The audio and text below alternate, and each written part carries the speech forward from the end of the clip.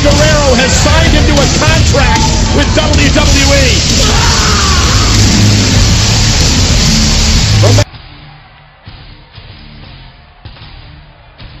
And here comes Lesnar, wielding a steel chair, and he is red hot.